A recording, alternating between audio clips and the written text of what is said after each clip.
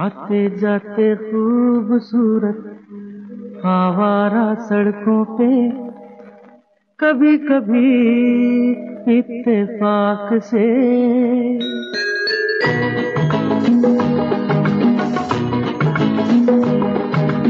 आते जाते खूबसूरत आवारा सड़कों पे कभी कभी इत्तेफाक से।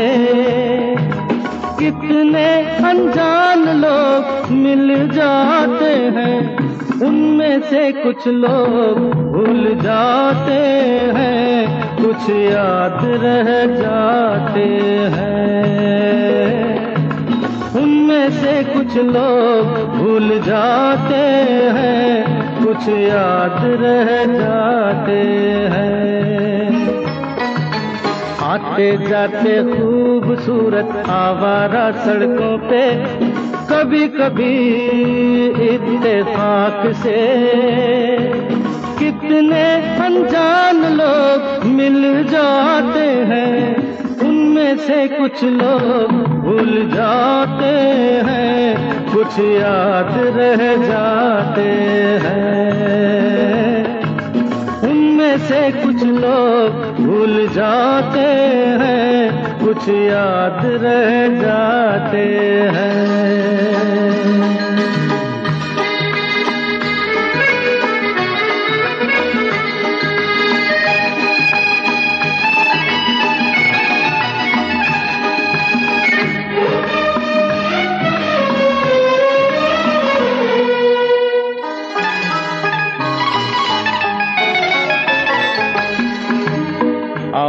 की दुनिया के दोस्तों, कल रात किसी जगह पे मुझको किस कदर ये हँसी ख्याल मिला है।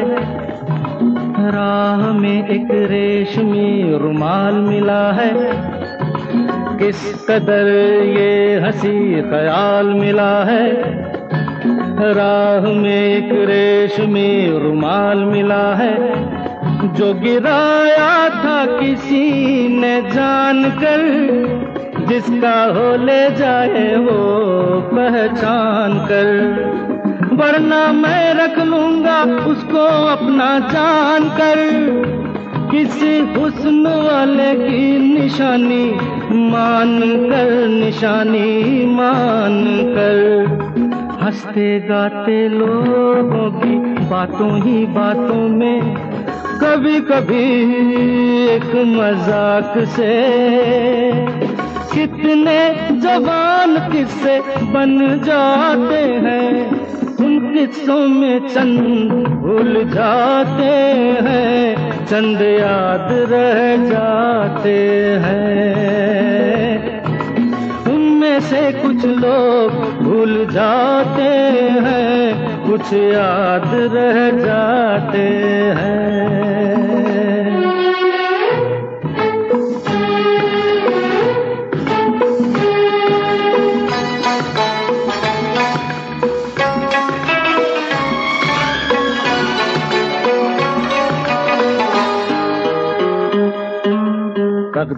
मुझ पे मेहरबान है। जिस शौक की ये दास्तान है, उसने भी शायद ये पैगाम सुना हो। मेरे गीतों में अपना नाम सुना हो।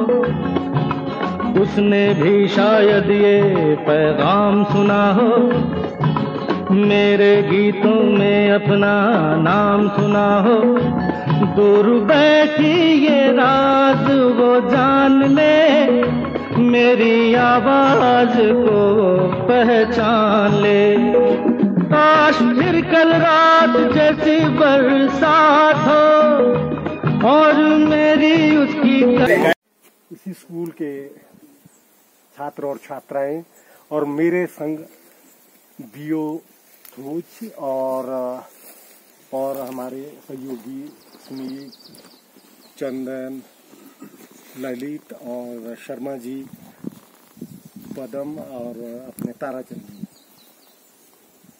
बच्चों, सबसे बड़ी बात ये है कि मतलब आप लोगों का आज समय, जो कि काफ़ी कीमती रहता है, मुझे लगता है कि एक दो दिन में एग्ज़ाम भी शुरू होने वाले हैं। अब यहाँ बुलाने का मकसद क्या है? चलो आप लोगों ने क्वेश्चन नहीं किया, मैं बताता हूँ आपको। स्वाद, पेड़ है, इसके पत्ते गिरते हैं ज़मीन पर, सड़के, क्या बनता है, इसका सोयल बनता है। ठीक है, अभी हमने केले खाए, केले भी तो नेचुरल है, थोड़ा इसको और इम्प्रूव किया।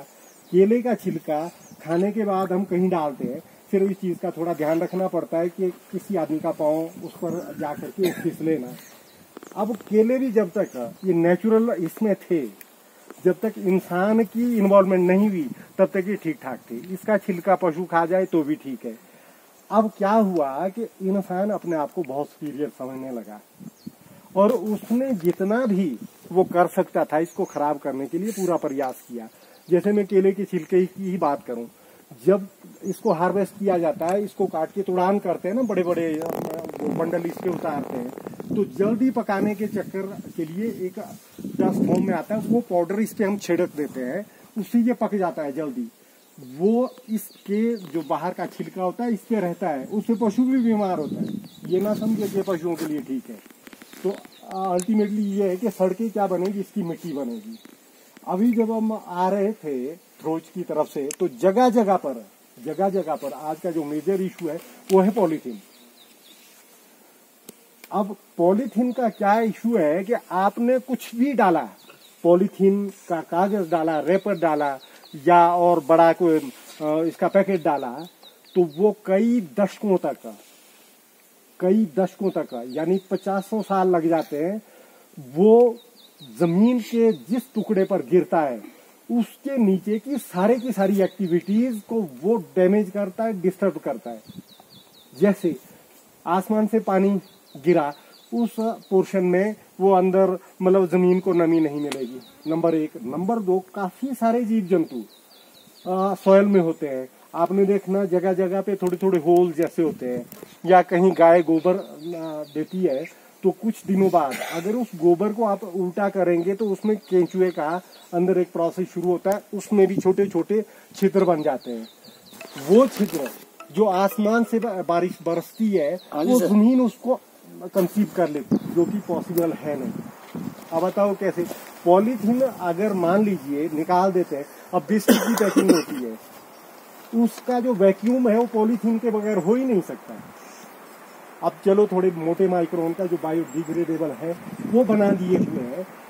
हम इसका जो उपयोग है, उसको कम कर सकते हैं, एकदम बंद नहीं कर सकते। अब कम करने के बाद, हमारी जो एक्टिविटी है, हमारी जो मानसिकता है उसको ऐसा मतलब जब यूज़ कर लिया, चाहे आपने टॉफी खाई, चॉकलेट खाया, बिस्किट खाया तो ये नहीं कि भाई ये तो सरकारी ज़मीन है, रास्ता है, कॉमन है, फेंक दिया। वो आदत बिल्कुल अच्छी नहीं होती है। मतलब कूड़ादान है कहीं, अब तो गाँव गाँव में ईंटों से बना रखे, उसको जला देते हैं, सड़ा देते जो भी करते हैं तो वहाँ तक कृपया ले जाए। आज की डेट में, जब तक आपका अपना कॉन्शियस जिसको जमीर बोलते हैं, वो नहीं जागेगा डंडे के ज़ोर से या गुरुजी के जिसको हमारे टाइम में दबका बोलते थे जरका के कब तक चलेगा? कौन आपके साथ रहेगा? आपका, खुद का जो कॉन्शियस है, वो हमेशा आपके साथ है। अब, जब तक ये एरिया मैं यहाँ तकरीबन बयालीस, तैतालीस साल पहले इन्हीं रास्तों से मैं भी स्कूल जाया करता था। तो कितना क्लीन होता था। आज तो दुनिया भर के बॉटल तो वहाँ दिखे। जगह जगह पे वो जर्दे और खैनी के पैकेट मिल रहे हैं। अब खाने वाला कम से कम आप में से किसी का चाचा होगा, किसी का बाप भी हो सकता है। है बोर्ड में सबसे ज़्यादा रेनफॉल वहाँ होता है। अब वहाँ ड्राई स्पेल चल रही है। तो इससे बड़ा क्या होगा? वैसे शिमला भी world wide top twenty places में से शिमला का भी नंबर है, खैर, धर्मशाला उससे भी आगे है। अब कहाँ बर्फ़ पड़ रही है शिमला में भी? ये सारे के सारे सीजनल ऑफसेट्स ऐसे आएँगे कि बर्फ़ के टाइम बर्फ़ नहीं पड़ेगी, बरसात के टाइम बरसात नहीं। कारण यही है कि जितना हमने प्रदूषण फैलाया है इसीलिए ये इनिशियल स्टार्ट है। जो गुरुजी बोल रहे थे कि ताजमहल का अरे ताजमहल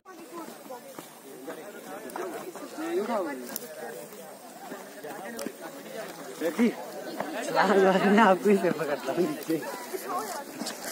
अरे यार मत उठाओ इधर पर तेरे का क्यों नहीं उठाओ? हेड बॉय हेड बॉय वो वो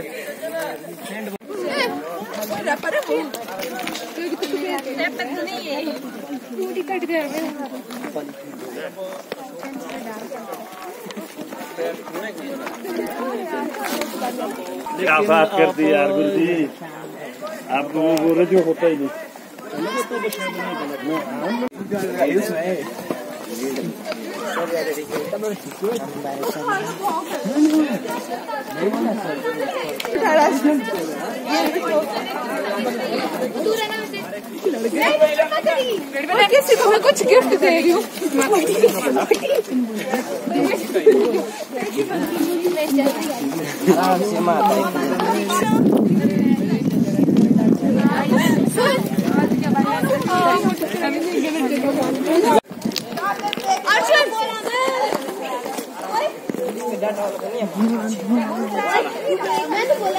तुमने देखा भगवान जी डाटा टाइम मिला होगा ना।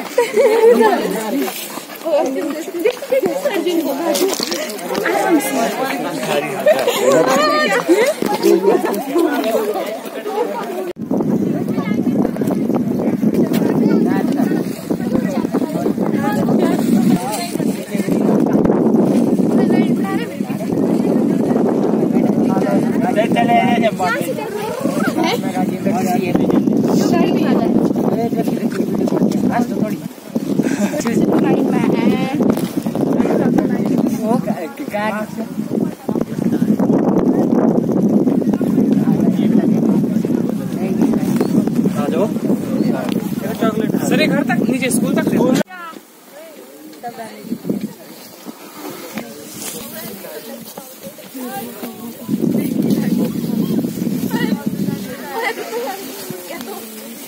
क्या करती बदतमीजी मत करती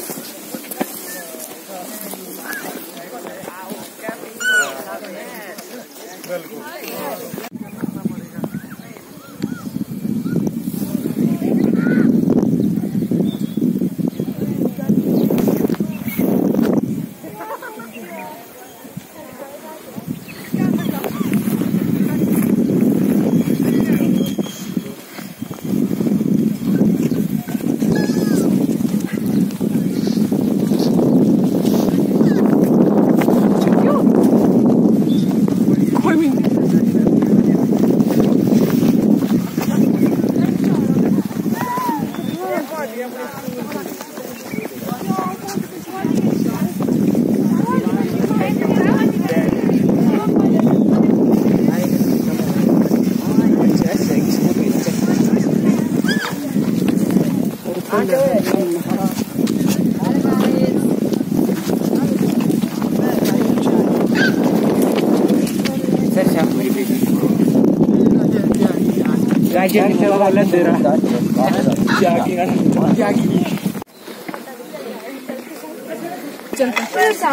चलो तो सारे जा रहे हैं। मैं उसका ही मेरा बता नहीं रहा। चलो।